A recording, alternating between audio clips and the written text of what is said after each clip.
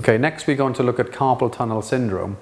We're going to look at um, the pain the patient can present with, and typically they might have some issues coming into the forearm, the flexor tendons, where the median nerve will travel down through the carpal tunnel, and they could have pain into the thumb, the index, the middle, and half the ring finger. So they might present with some form of numbness, tingling, pain in this sort of area in here.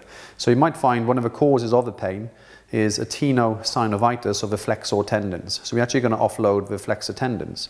So I've got a, an I strip where I've prepped the end and I've put almost like two sort of like ears on the end of either side. If you look at the back of the tape, it's almost to the, the first square. Um, first of all, what we're going to do is just peel it back and just feed off those two. We're actually going to start with the elbow and extension and the wrist flexion. So we're just going to stretch the, the flexor tendons. And we're just going to apply this. This is going to be onto the hypothenar eminence, and this is going to be on the thenar eminence of the thumb, like so, and the carpal tunnel will drift in between. And then pull that back, and then little to no stretch, but you still want to put a little bit of stretch on. So, because if you just literally laid it down, it'd look untidy. So a little bit of stretch, so about 10 to 15%.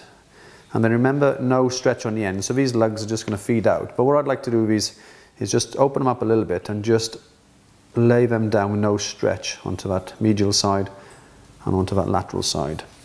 Using the back of the tape again, we can just heat activate the adhesion so it makes it a bit stickier and we can leave it on for a few days and hopefully the symptoms might reduce into the hand and into the forearm. Okay.